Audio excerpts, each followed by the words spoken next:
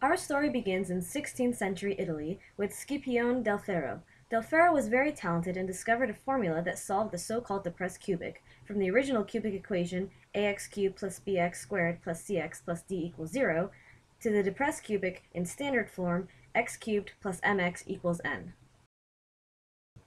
In those times, continued service depended on the ability to prevail in public challenges that could be issued from any person at any time.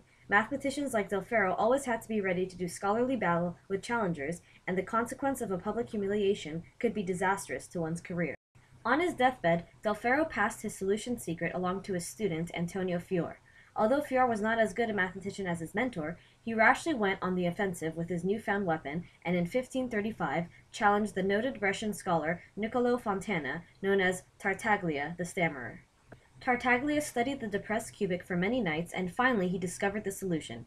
He could now solve all of Fior's problems with ease, while his less gifted challenger turned in a dismal performance of his own, and so was disgraced. Then a newcomer emerged, Girolamo Cardano. Cardano asked Tartaglia to divulge his secret to the solution of certain kinds of cubics. After much pleading, Tartaglia finally revealed the secret of the depressed cubic to Cardano in 1539. Cardano took a written oath to never reveal Tartaglia's secrets to anyone or ever publish them. Our last character in this story is the young Ludovico Ferrari. Ferrari arrived at Cardano's door asking for work. Ferrari quickly became Cardano's pupil, and Cardano shared Tartaglia's secret with his brilliant young protege, and together the two of them made astounding progress. Cardano discovered how to solve the general cubic equation.